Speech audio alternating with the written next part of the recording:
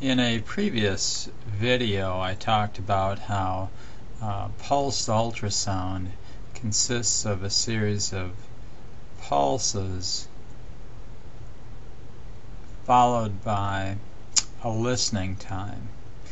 And in this video I want to look at something called uh, the duty factor.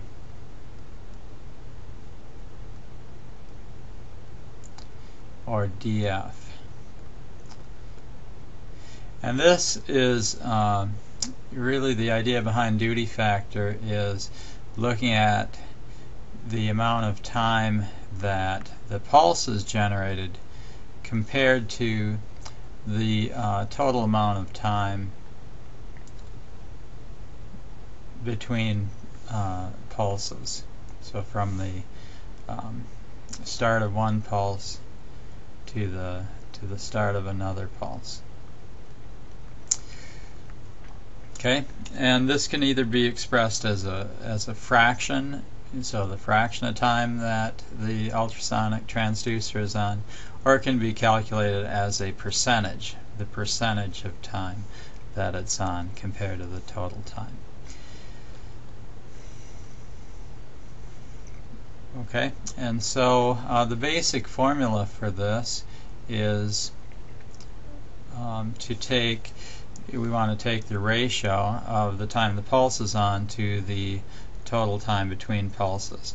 Now, the uh, time the pulse is on is called the pulse duration. And the uh, total length of time is called the pulse repetition period. I showed you how to calculate uh, the pulse repetition period in a previous video and if you remember we generate pulses in the kilohertz range and the pulse repetition period comes out to be typically in the milliseconds and if we remember the pulse duration um, calculation, that turns out to come out to be in the microseconds range. And so milli, uh, uh, milliseconds and microseconds aren't going to cancel properly, so we have to do is um, put a factor of 1000 in the denominator. And what the, uh, that's saying basically if I put in the conversion units is there's a thousand uh, microseconds for every millisecond so a thousand microseconds per millisecond. So my milliseconds will cancel and I'll have just microseconds left for units. And again this is my uh, duty factor.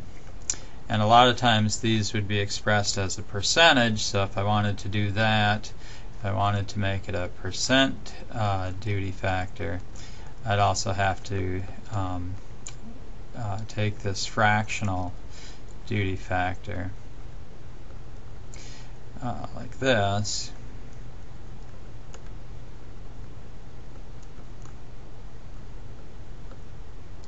and multiply by 100 percent.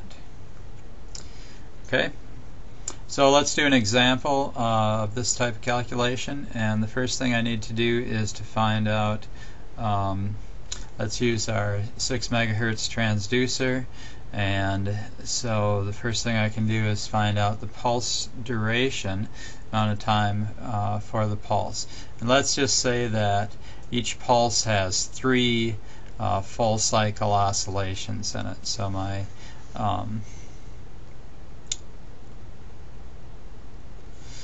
So in that case, uh, n equals 3. In other words, it's going up and down once, twice, three times before it, it fades out completely. One, two, three. So there's three full wave cycles in the pulse and um, the other thing I need for that is uh, the period. So um, pulse duration, and this, if it's in microseconds, is equal to the number of full cycles times the period, the amount of time for each cycle. Okay, and that's in microseconds. And so the uh, I could also write this if I keep in mind that the period in microseconds is equal to 1 over the frequency in megahertz. I can use this, substitute this into this formula and get a different formula n over uh, the frequency in megahertz. And that'll make my calculation a little faster. And my units when I finish this will be in microseconds. So let's say I have three uh, full cycles divided by in this case uh, 6 megahertz transducer and so that's um,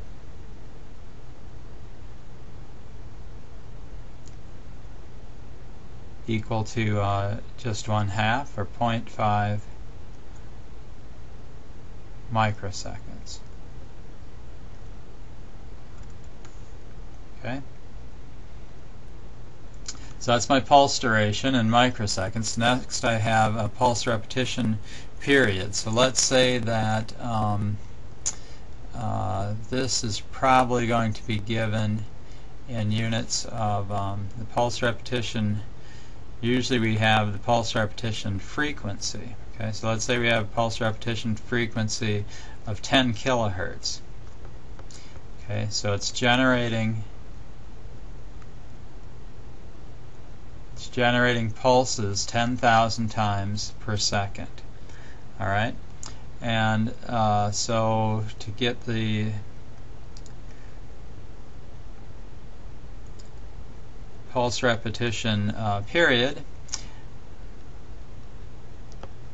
Remember, period is 1 over frequency, so that's um, 1 over uh, the pulse repetition frequency. And I said that was 10 kilohertz.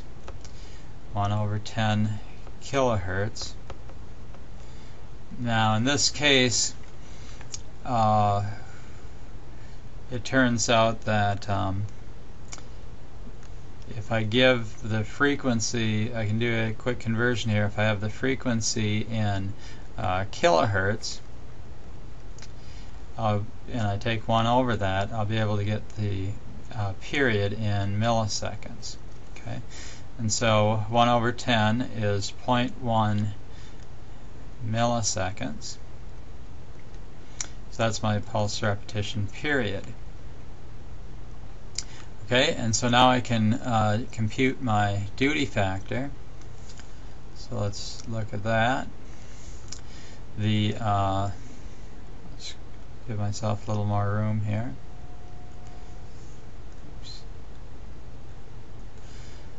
Okay, so the duty factor is equal to the pulse duration in microseconds divided by pulse repetition period in milliseconds times 1000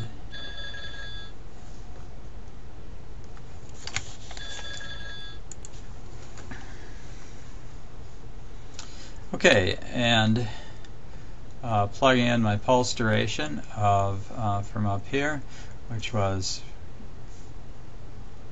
0.5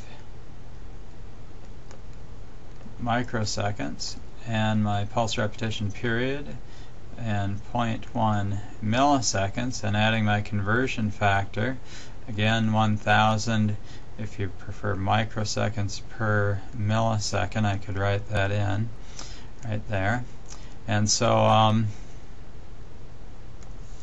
I'm going to use a calculator for this I think. So let's take a look at that. So I have 0.5 divided by 0.1 and also divided by 1000 and so that's equal to 0.005